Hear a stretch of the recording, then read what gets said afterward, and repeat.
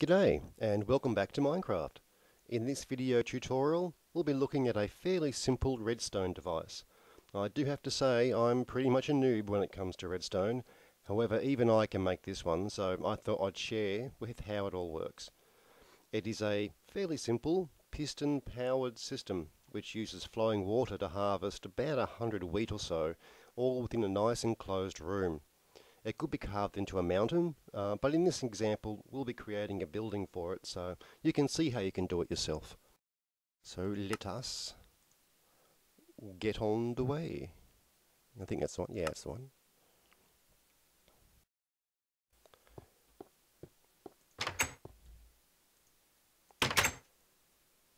I've just recently discovered this village and thought I'd um bring some resources over and set up took a bit to get that green grass over, I can tell you. Anyway, let's just go over here. Now, the start, you're going to need to create a 4 wide by, oh, I think it's 12. 1, 2, 3, 4, 5, 6, 7, 8, 9, 10, 11, 12. Yes, 12 area. And this is basically the foyer of the, um, the whole room. I've set up this little spot here just so I've got all my supplies and I can actually build from here. You'll need to decide on which side will be your door and I'm going to place that door over here. And so I can have these over there. So, let's start quickly by taking a look at the gear that you'll need and that's this bottom line here that's so important. You're going to need 35 redstone, 33 cobblestone, 27 stone, that's the clean stone, you'll need to cook it, 24 wooden planks, 19 sticks, 8 iron ingots, you'll need some water of course, and some spare redstone for the actual wiring itself. This is all you need to actually create the things to build it. So let's just grab those to start with. So now I need to remember how to do all this. We'll firstly need to create ourselves a lever to control the whole system. Now we're going to need 18 redstone torches. These will be used to create repeaters. Now we're going to need to create, let's have to remember ooh, our repeater system. Redstone, torch and torch, and then on the bottom stone. So nine, nine, nine. There's our repeaters. And the next thing we'll need is pistons. So for our pistons, they go on the bottom, they go on the top, these go on the sides, and our wooden planks go on the top. Ba-bang. Okay, so we'll just pop those over here. Now the other thing we'll need to do is um, grab that for our wiring for later. Okay, let's have a, oh, I suppose we'll just, ooh, what have I got, what have I got? We'll grab a little bit of that and we'll just do that to start with. Okay, so first thing we'll do is just nick over to the side here and we'll create ourselves our infinite water supply because well it's always nice to have when you stuff something up. Not that I do that often. Now, once you've got your big line set up across here, we're going to need to create an 8 by 8 section.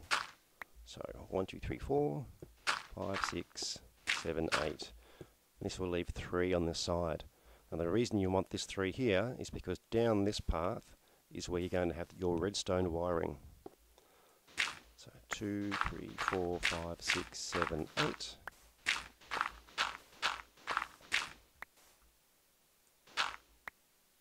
Here we go.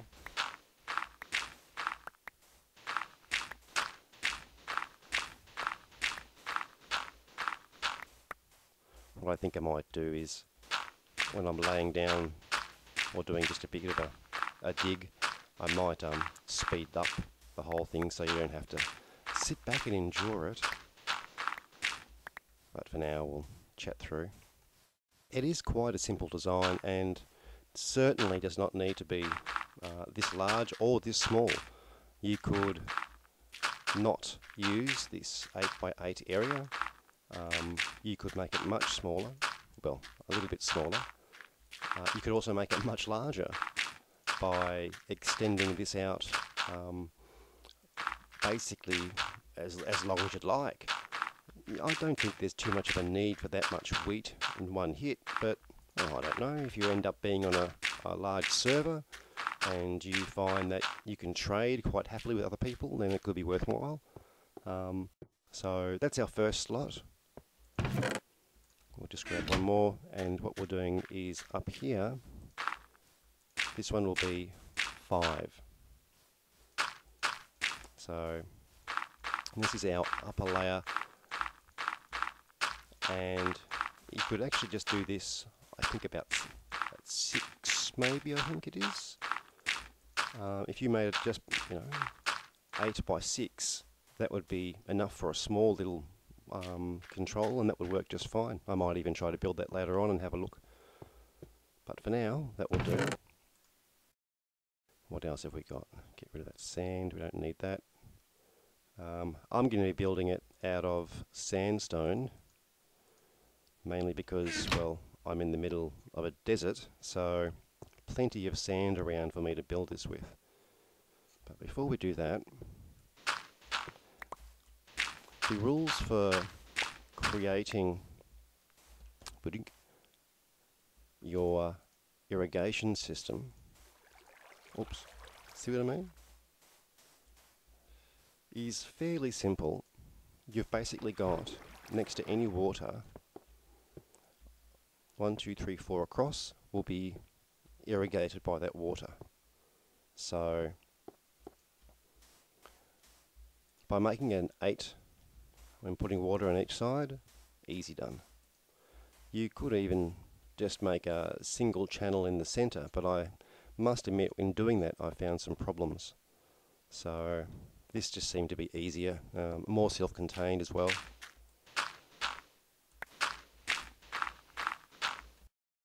And I like it easy. Do do another one. Oh, I'm not sure whether or not you've noticed. You could have before. If I hit escape, saving level. Oh, it doesn't say it, but we're on Minecraft 1.0.0. We've actually gone to the big one release. Just got released probably about, oh, I think it would have been 15 minutes ago. I think. Okay, so we'll just cover this up. Like so. So that's our next channel. We'll continue this along.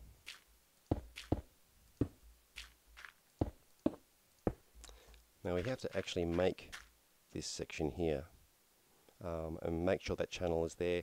You could actually dig this in one level, uh, which means you wouldn't have to actually create that. But eh, this will do. Go get some water. Should have refilled before. And this is why we always make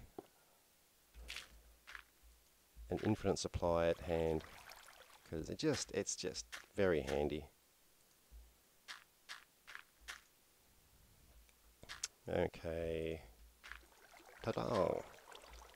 So, the next part that we need to build, oh, we need to cover this up as well. Nice and easy.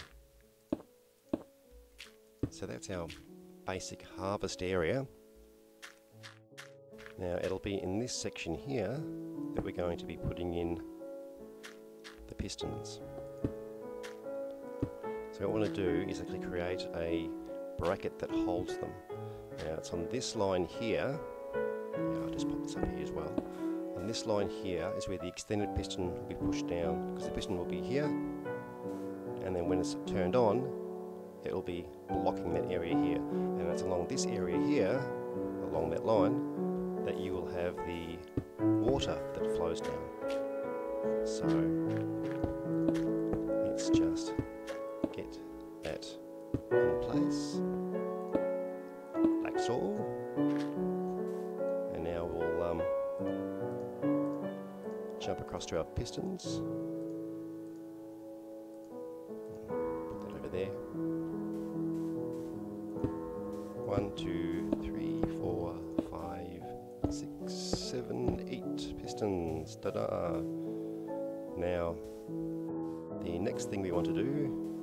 a think want to lay some more we'll just put some dirt down that'll do along here. You could make it with cobble, you could make it with anything. If you're mad enough, you could do it with obsidian. But I, I find the um, sandstone to be a good idea because it helps with mob control and spiders. Okay, so enough chatter. Let's go and get some more water.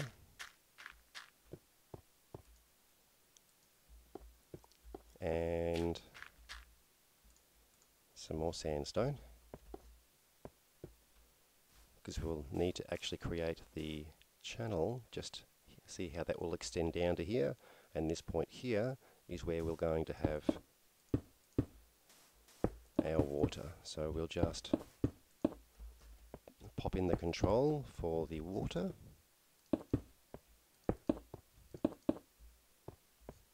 like so and then along this line here I believe that will work, yes.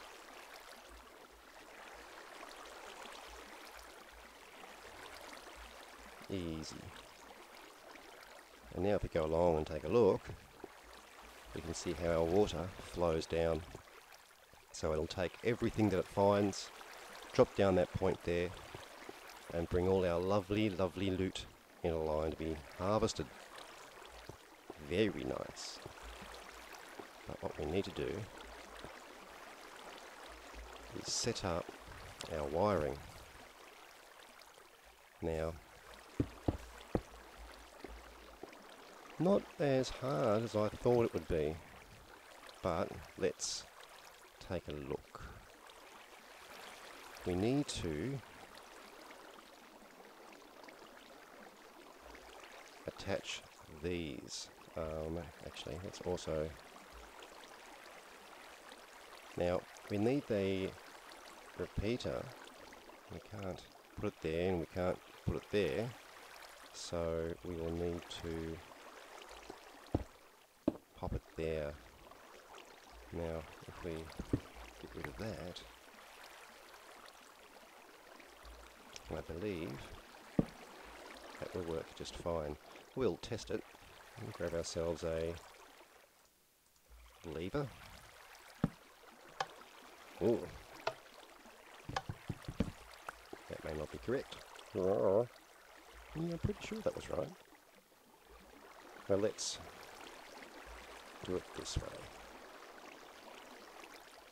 Get our lever. We have power. Oh, that's not good. So we'll need to come up one. So we can do that by doing this. Aha! There you go. That's what we want. So, we'll continue that along. I, I believe we can cover that up. We'll need to cover it up anyway.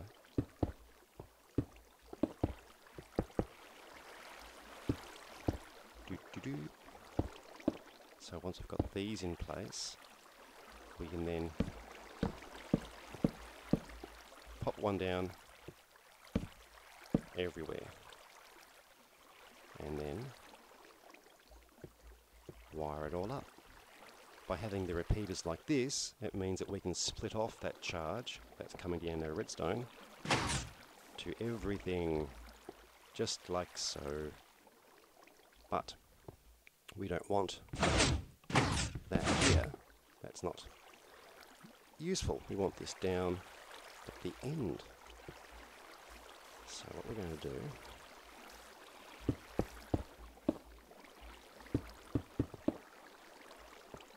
is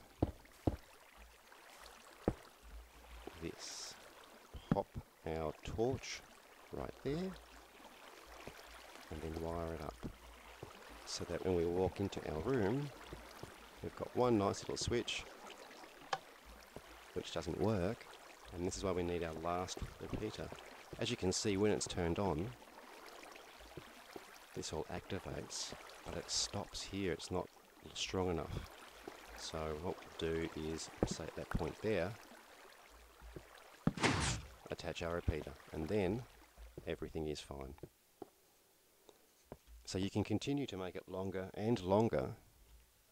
You'll just need to add more repeaters.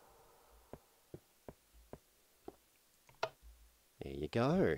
Very easy. So we'll just, let's have a think. That's all working and fine. The other thing you will need to do is to create the walls, of course, to create everything and keep it simple.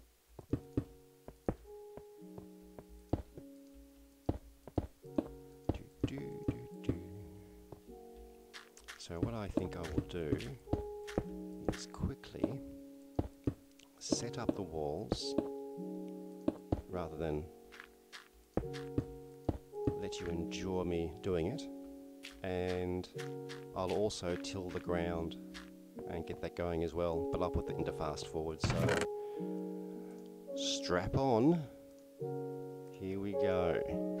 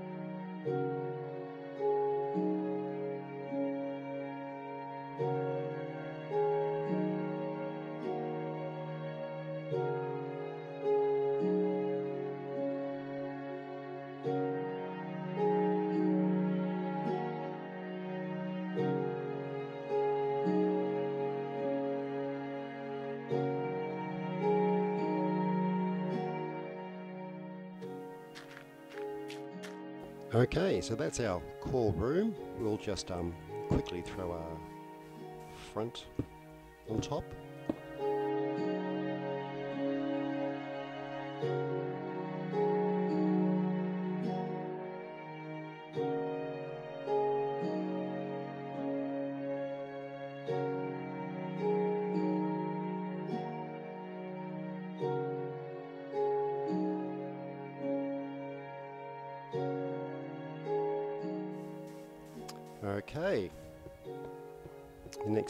Do is to let's have a look. I've got some.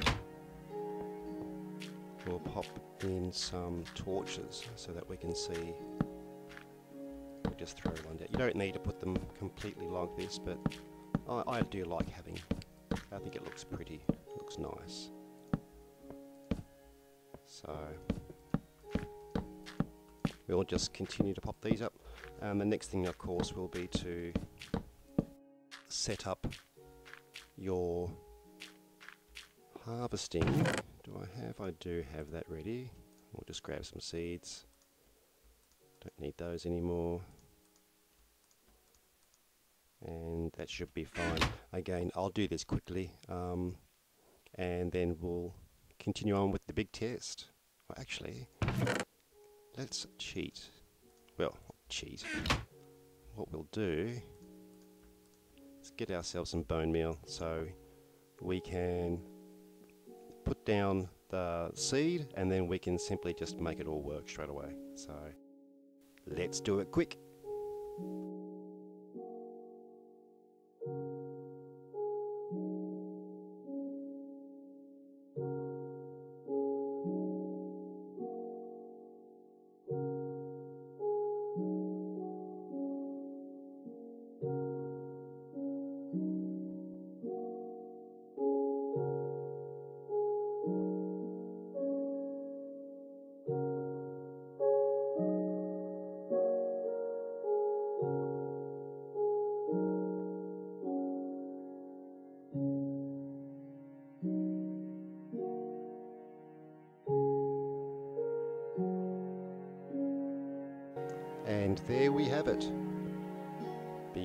Beautiful.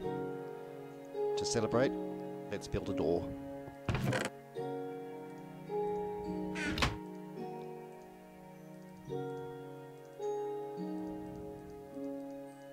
There we go. One door. Done. So now,